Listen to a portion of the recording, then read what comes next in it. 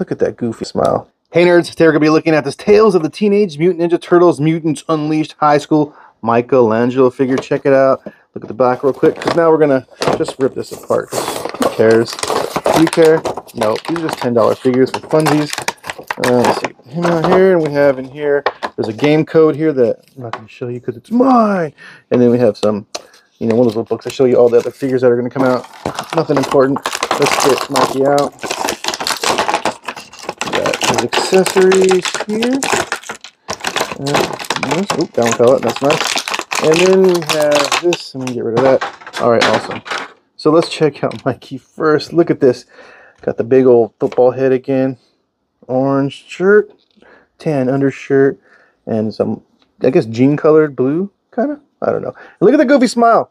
It's so damn cute. The big eyes, like, I can't believe I'm in high school. Oh, that, that was on there tight. Bong. Look at that. That one's white. That's funny. Raph was red. All right. Check that out. That's cool.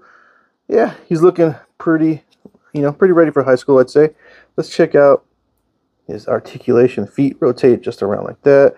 The knees spin in there, and they do bend. Ooh, this one doesn't want to bend. Ooh, there we go. Got it. Does the other one want to move?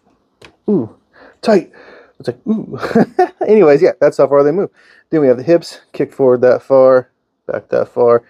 They do rotate in there as well, so you can get his legs out like that too. Nice moves there. No hip articulation or torso at all. See the shoulder spin around like that. Go up about that far. And then let's see, elbow spin around in there. These ones are kind of tight too. All right, there we go. That's all the bend you're going to get out of the elbow. Not even 90 degrees, a little bit less. And then the wrist spin around like this. And then the head goes all the way around and doesn't really look up or down too much. He actually has a little bit more range than Raph did. But yeah, I'm liking this figure. I like the school clothes design. So yeah, I enjoy these. You can see Raph back there with his weights doing the Luffy thing or the Breakfast Club for the older people who don't know anime. All right. Uh, nice poses on this guy. Let's check out his accessories. We have the microphone stand. And where'd that microphone go? There it is. Look at that. Mm, does this move at all? Nope, just stuck in one spot. Because we put the mic like this, clip it in. And you know, our boy's a comedian. Make him do this his comedy kind of like a rock star said. You hold the pole, you know, you do a thing like this. Yeah. Because he's a modern comedian.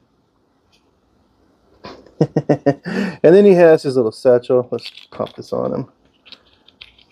There we go. totally how you'd want to go to school. Your side bag, satchel thingy bobber, and then your, your mic stand. yeah, that's exactly what you want to see walking around the hallways, right? No, that's pretty cool.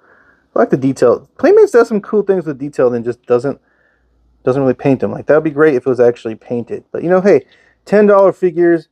These are really great for ten bucks. I would say. Nice price range, nice quality good articulation, and like, look at that goofy ass smile. Let's see. Let's make Mikey tell a joke. What does Batman like in his water? Just ice.